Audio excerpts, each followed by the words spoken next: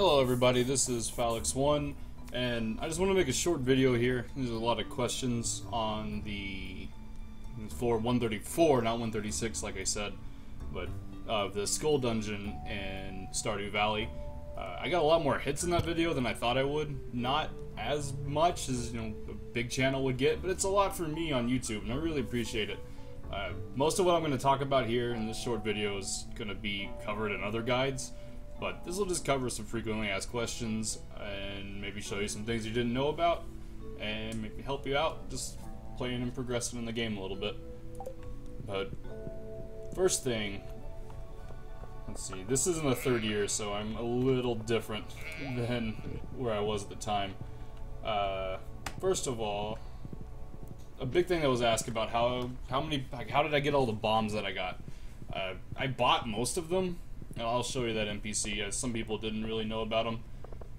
But you can also craft them. It takes a dark and a or a lunar and a solar essence, as well as full, four gold ore. Whenever you donate 60 artifacts to the collector, you'll get the key to the sewer, and you can just come down to this guy. And generally, you have to talk to him a couple of times, but he has an item that'll change every day. I think like Fridays are iridium sprinklers, but you can buy 10 of these a day from them. Uh, it's pretty cheap. Uh, it's cheaper definitely than buying bombs if you already have a lot of gold stocked up. But this guy will let you stock up a whole lot of bombs for a pretty low price. Uh, the next thing is at the dwarf. Uh, some people didn't seem to know about him. Ah, I hate that the horse can't go through some gaps. Uh, the dwarf can be found in the mines. I believe you need to have a steel pickaxe to break it, or you can use a cherry bomb. Uh, you can't talk to him until you get four dwarf scrolls. You can find those just in the mines.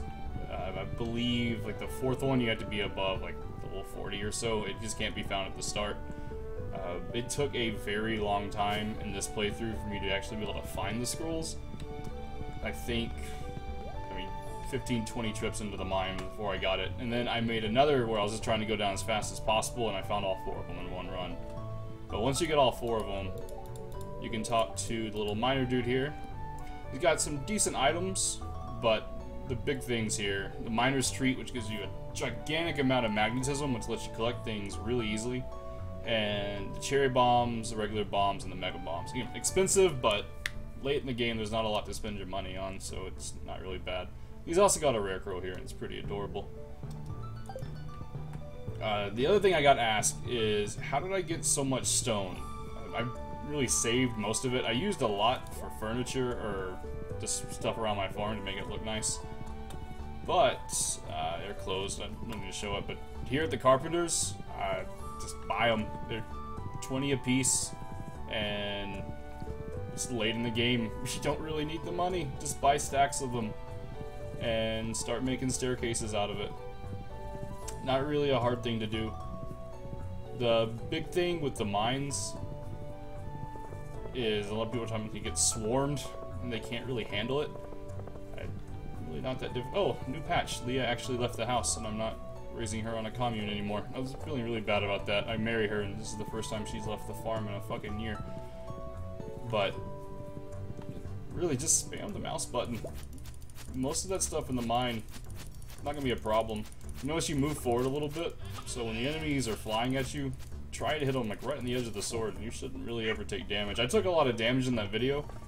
Because a big thing that I recommend if you just want to have a lot of recovery items, get chickens and ducks, and you'll have enough eggs for anything that you ever need.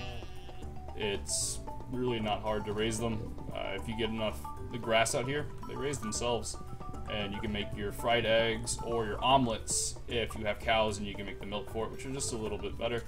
And you can spam that food. But I definitely recommend if you get some of those spicy eels, try to save those up, as well as the miner's treats. The miner's treat is really nice if you're just kind of wanting to blast mine everything, because you can blow stuff up, walk right through the middle of it, and you have enough magnetism just to grab everything. Uh, and as far as what I was doing in that video, past floor 100, that's not really what you need to do if you're just wanting to get a lot of iridium. It seemed about floor 70 is that's that's the sweet spot. About floor 70, the Iridium nodes were plenty, and you can do anything that you ever want with them. There's not a lot to do with the Iridium. You can upgrade your tools, and you can get some of the slime stuff as well as making Iridium sprinklers. But there's not a ton of recipes for it. And maybe in the future that'll change. But it seems just go to floor 70 and that's all you gotta do. Uh, so just to recap, if you want stone, get it for the carpenter. Uh, bombs come from the dwarf, and you can craft them with the dark and solar essences and four gold ores. The essences can be bought 10 a day of each at the door or at the merchant in the sewers. And if you're looking for just really easy food, just grab some chickens.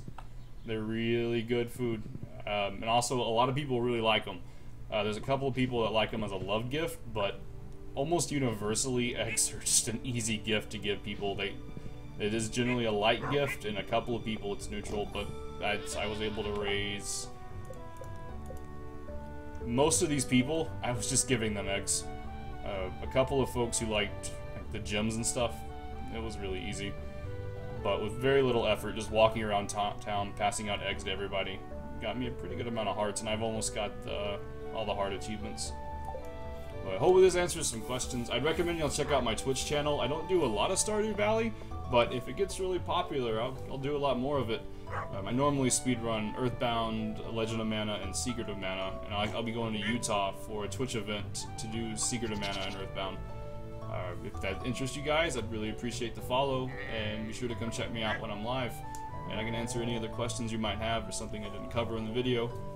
But look forward to having you, and you have a wonderful day.